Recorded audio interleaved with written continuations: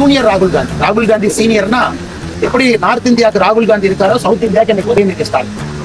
அதனாலதான் நிறைய online comment பார்க்கறேன். நார்த் இந்தியாவோட பப்பு ராகுல் காந்தி சவுத் இந்தியாவோட பப்பு உதயநிதி ஸ்டாலின் ஜூனியர் ராகுல் காந்தியாவே வேலை ராகுல் காந்தி பிரச்சனை என்னன்னா வந்து அதான் பிரச்சனை.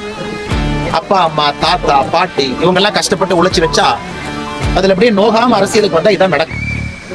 நார்த் இந்தியாவுக்கு ராகுல் காந்தி இருப்பது போல சவுத் இந்தியாவுக்கு உதயநிதி ஸ்டாலின் அவர்கள் உருவாகி இருக்கிறாங்க அதனாலதான் தப்பு என்னன்னு தெரியல. அவன் செய்வது தப்பு சொல்வது தப்புன்னு கூட புரிஞ்சுக்காம மாத்தி மாத்தி நேத்துல இருந்து புது எக்ஸ்பிளனேஷன் கொடுக்குறாங்க. சனாதன தர்மம்னா இந்துத்துவான்னு ஒரு புது எக்ஸ்பிளனேஷன் இதெல்லாம் நேற்று ஃபர்ஸ்ட் டைமா பாக்குறோம் தமிழ்நாட்டுல சனாதன தர்மம் வேறு அதனால வேற மாதிரி சொன்னோம். இந்தியாவில சனாதன தர்மம் வேறு அதை நீங்க வேற மாதிரி புரிஞ்சுக்கணுங்க இப்பெல்லாம் முதன் முதலாக இந்தியாவில் யாரும் சனாதன தர்மத்திற்கு இரண்டாயிரம் ஆண்டு கொடுக்காத ஒரு புதிய எக்ஸ்பிளனேஷன் நேற்று இருந்து திமுகவும் சகோதரர் உதயநிதி ஸ்டாலின் அவங்க கொடுக்குறாங்க.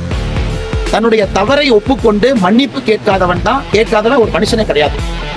அதுக்கப்புறம் அரசியல்வாதி அதுக்கப்புறம் அதுக்கப்புறம் மக்கள் ஆளக்கூடிய தவறு தவறு செய்து விட்டோம் என்று தெரிந்தும் கூட பதில் சொல்லிட்டு அதனால் இரண்டாயிரத்தி இருபத்தி நான்கு திமுக என்ன? இந்த இந்திய அலையன்ஸே மண்ணை கவப்போவது உறுதி.